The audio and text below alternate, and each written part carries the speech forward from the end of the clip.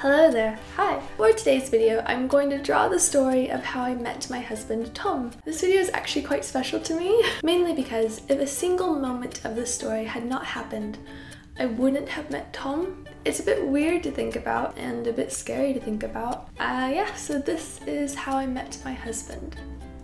I grew up in Springfield, Missouri in the USA, and Tom grew up in Southampton, England. The house I grew up in was a house that my dad built on a big hill next to a river. We lived in the middle of a forest, and so there weren't a lot of people around. One event that majorly affected me was my dad took me to an ice rink when I was a little girl and I saw another skater do a pivot. I thought it was the coolest thing ever and so I signed up for Learn to Skate. Figure skating, I met Jody, my best friend growing up. She is amazing, strong, and her friendship is still one that I really treasure to this day. I was a bit of the silly one and Jody was the cool one. she made me into a better person, a more competitive, outgoing person where I was ultra, ultra shy before. She helped bring out the best parts of me. We also spent most days at the ice rink playing with the claw machine, collecting hockey pucks with Carly and Gracie, and at one point we all had matching Madagascar hissing cockroaches. Yay! Because that's true friendship. it's silly life elements like that that made me into the weird person I am today. I was also into anime, and Kiki's Delivery Service is still my favorite movie. and I was Bible Belt Gothic, meaning I liked Tim Burton films. I had a Jack Skellington themed bedroom, so I was a little bit of an outcast. I had a bit of a split personality when it came to figure skating and my school life. For whatever reason, in school, I was immensely shy. This developed into selective mutism, and overall, though I did good with my studies, I was not good at socializing with others. And eventually, Jody ended up at the same middle school I was at, and I think she also got to see how different my personality was, and I think that also contributed to us not falling apart as friends, but we definitely grew apart as friends. You know, life happens, life is life. But as a result, I didn't really have any close, close friends while I was in middle school, uh, up until the last year of middle school.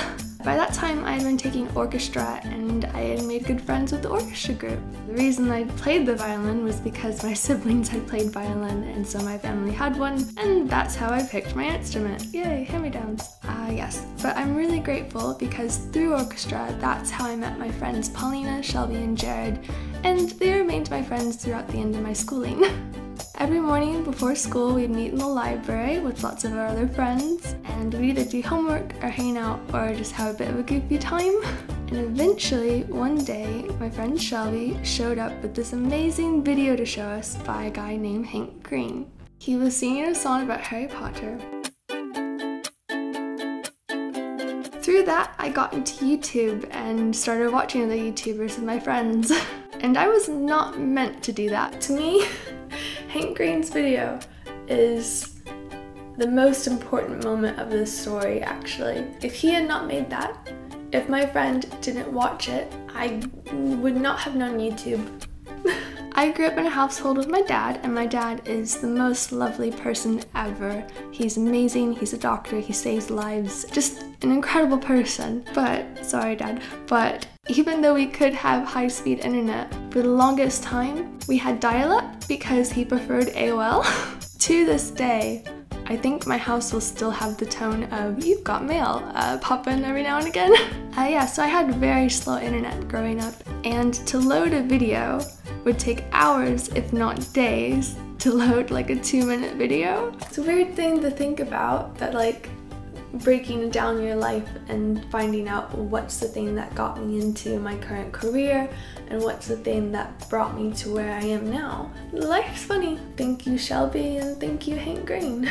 Eventually I started making my own art videos and some videos for scholarships and other things I had been uploading and they went well. They went well and I kind of became a little YouTuber. While I was in high school still, Paulina and I decided to go to VidCon in California. Flying to California with my friend just by ourselves, no parents, uh, was quite exciting. During that trip was also the first time I went to Disneyland, and up until this point I thought I had hated Disneyland. I heard there was crowds there, and then I thought I wouldn't like it.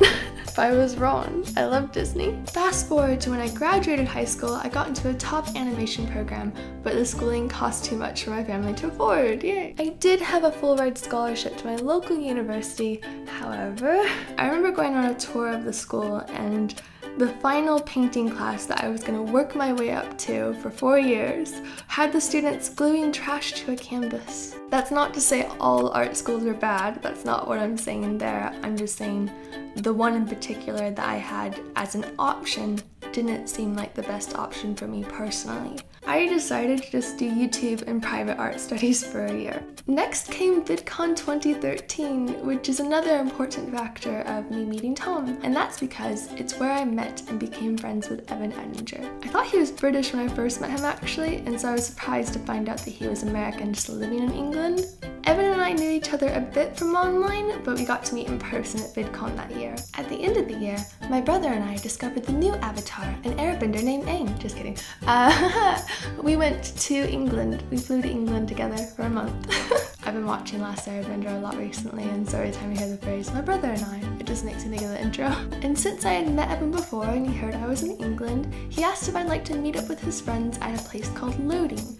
It was a gaming bar, uh, which is funny because it was Loading Bar, haha. How appropriate that I meet Evan at a place that's a pun. Ironically, Loading has moved location and that current location is now Mr. Lasagna. Back to Loading, Loading is where I met Tom. Evan introduced us, and Tom was a YouTuber himself, and he had made this event called Summer in the City with his friends. It started in a field, and now it's this massive event at London ExCeL, which is crazy. Uh, yeah, and that's how I met Tom. Now, unfortunately for Tom, uh, I was adamant at that moment in my life that I would never date. It just wasn't in my plan. And then I met Tom. Neither of us had really dated anyone before, which I think was another reason I picked him. And possibly why he picked me. Tom was too good not to date, and so I wanted Tom. He treated me and still treats me like I am the world, like there's no one better, and it's the best feeling in the world. Sappy, so sappy. He asked me to be his girlfriend with a Pokemon plush. He told me he was in love with me on a Pokemon card. And he asked me to marry him the following year with a Pokeball. The engagement ring was inside. Ah uh, yeah, so now he's my little family over here.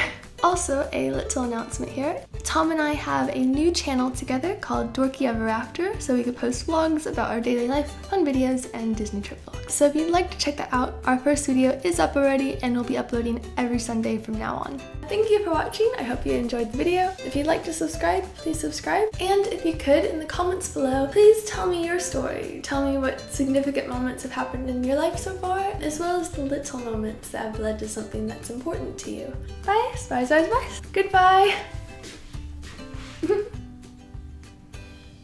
Snuck into my room. He snuck into my room.